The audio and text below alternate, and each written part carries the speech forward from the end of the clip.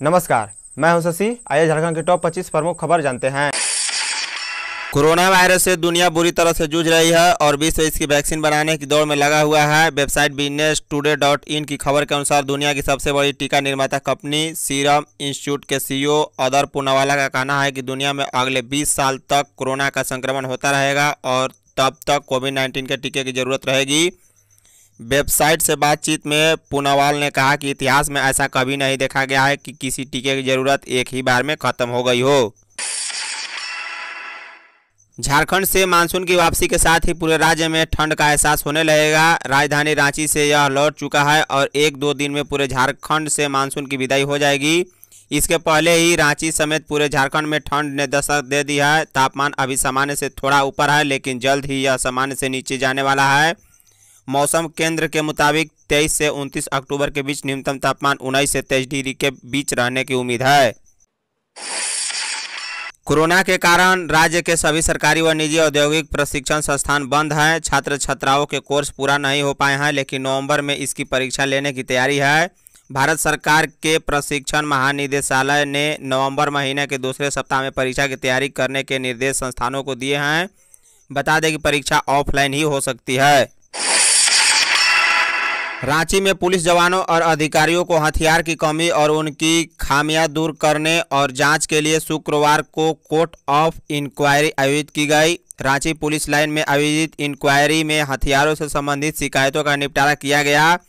बता दें कि मौके पर डेढ़ सौ से ज़्यादा पुलिस जवानों और पदाधिकारी मौजूद रहे। कई पुलिस पदाधिकारियों पर आरोप था कि ड्यूटी के दौरान हथियार का सही तरीका से इस्तेमाल नहीं करते हैं और लापरवाही की वजह से नुकसान भी हुआ है। कांके डैम को लेकर 21 दिनों से चल रहा धरना समाप्त। कांके डैम को बचाने और 12 गाँवों के विस्थापित मछुआरों को रोज़गार दिलाने की मांग को लेकर 21 दिनों से जारी अनिश्चितकालीन धरना शुक्रवार को समाप्त हो गया। पेयजल एवं स्वच्छता विभाग के मंत्री मिथिलेश ठाकुर कांके डैम के पास धरना स्थल पर पहुँचे और आंदोलनकारियों को बताया कि सरकार कांके डैम के सुंदरीकरण और अतिक्रमण मुक्त करने का खाका तैयार कर रही है। मोराबादी में आरक्षियों का धरना समाप्त। झारखंड प्रदेश कांग्रेस कमेटी के अध्यक्ष डॉक्टर रामेश्वर उरांव द्वारा गठित पार्टी की उच्च स्तरीय समिति के सदस्यों ने शुक्रवार को मोराबादी में धरना पर बैठे झारखंड सशस्त्र पुलिस सामान्य आरक्षी के प्रतिनिधि मंडल से मुलाकात की। उनकी मांगों के समर्थन में सरकार से बातचीत कर समस्या के समाधान का भरोसा दिलाते हुए धरना को समाप्त कराया। ग्रामीण विकास कार्य मंत्री आलमगीर आलम को पत्र लिखकर सोना हाथू प्रखंड में प्रधानमंत्री ग्राम सड़क योजना के तहत आठ दशमलव सात पाँच किलोमीटर पथ निर्माण में घटिया गुणवत्ता और अनियमितता की उच्च स्तरीय जाँच की मांग की गई है। यह मांग झारखंड प्रदेश कांग्रेस कमेटी के कार्यकारी अध्यक्ष केशव महतो कमलेश ने की है। पंचायत सचिव अभ्यर्थियों का अनशन समाप्त।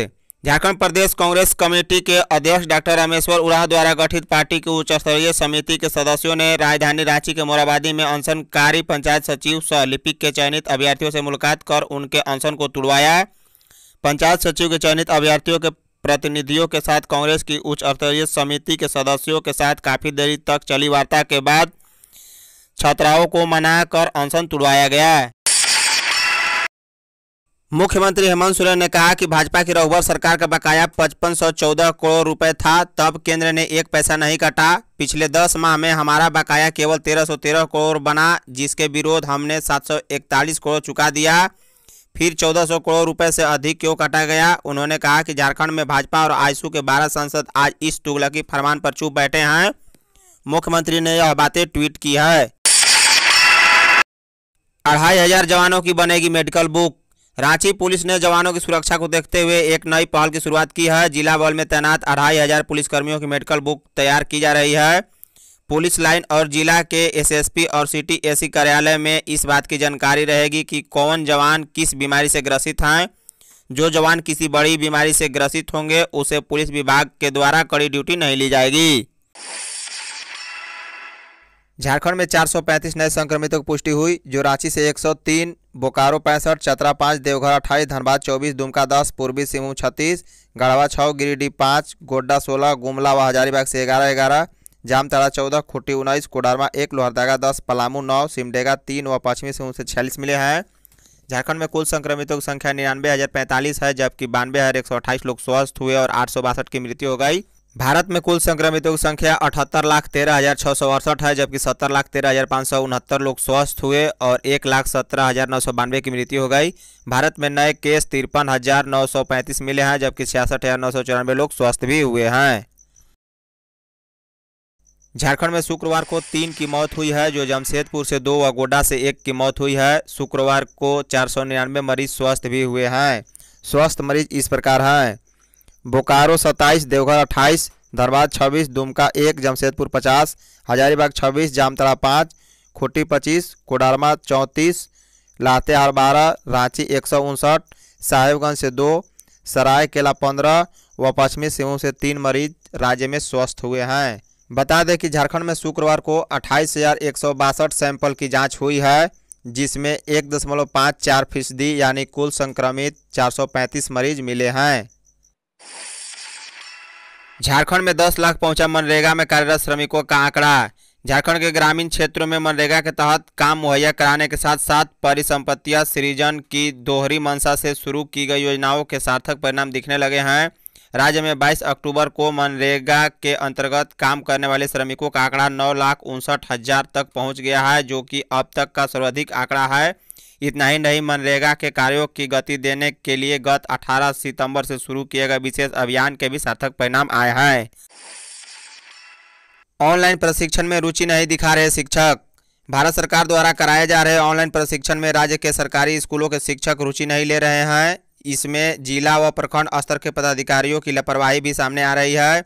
स्थिति यह है कि निष्ठा कार्यक्रम के तहत पैंतालीस हज़ार सात सौ पाँच शिक्षकों में तेरह हज़ार नौ सौ चालीस शिक्षकों ने ही अभी तक पंद्रह दिनों का कोर्स पूरा किया है।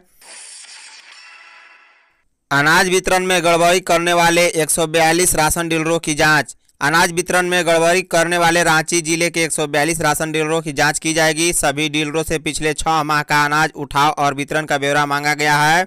इसके साथ ही इलाके के लोगों से भी बातचीत कर जानकारी ली जाएगी। इसकी जाँच के लिए उपायुक्त ने विशेष टीम का गठन किया है।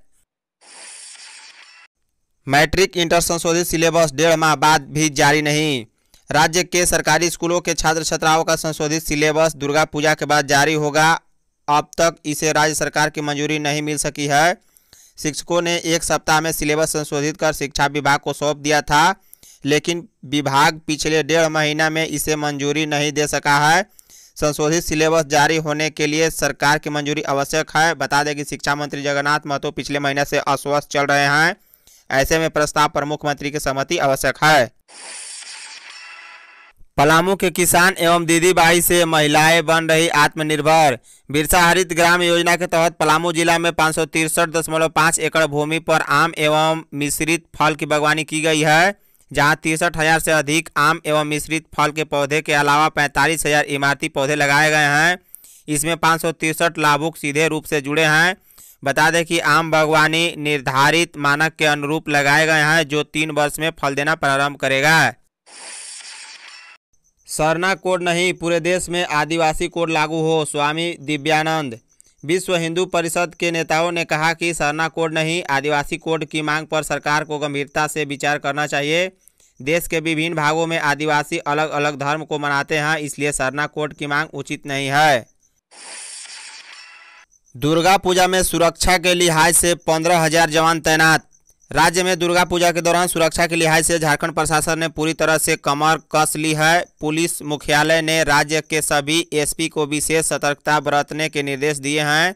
राज्य में विभिन्न जिलों में पंद्रह हज़ार से अधिक जवानों की तैनाती की गई है। इसके अलावा होमगार्ड के पाँच हज़ार जवानों की भी तैनाती होगी। साहेबगंज ज़िले में नाबालिग आदिवासी से गैंगरेप झारखंड में साहेबगंज ज़िले के मिर्ज़ा चौकी थाना क्षेत्र के रहने वाली सत्रह वर्षीय एक नाबालिग आदिवासी लड़की के साथ सामूहिक दुष्कर्म का मामला सामने आया है। पीड़िता के बयान पर छह अज्ञात लोगों के खिलाफ मिर्ज़ा चौकी थाना में धारा तीन सौ छिहत्तर के तहत प्राथमिकी दर्ज की गई है। पुलिस सूत्रों ने बताया कि पीड़िता के मुताबिक वह अपने माता पिता की मर्ज़ी से 21 अक्टूबर की रात करीब आठ बजे अपने दो दोस्तों के साथ घर से कहीं जा रही थी। झारखंड में कोरोना से मरने वालों में अधिकतर बुज़ुर्ग लोग सम्मिलित हैं। बता दें कि पचहत्तर फ़ीसदी से अधिक लोग 50 साल से अधिक के हैं। दुर्गा पूजा के दौरान विधि व्यवस्था को बनाए रखने के लिए रांची जिला प्रशासन ने रांची को 10 जोन में बांटकर दो सौ बयासी दंडाधिकारियों की प्रतिनियुक्ति की है। झारखंड की हेमंत सोरेन सरकार ने 16 पुलिस उपाधीक्षक डीएसपी रैंक के अधिकारियों का ट्रांसफ़र ऑर्डर वापस ले लिया है। मुख्यमंत्री ने ऊर्जा विभाग के भ्रष्ट पदाधिकारियों के खिलाफ एफआईआर करने के प्रस्ताव को मंजूरी दे दी है। इन पर पद का दुरुपयोग कर भ्रष्टाचार करने का आरोप है।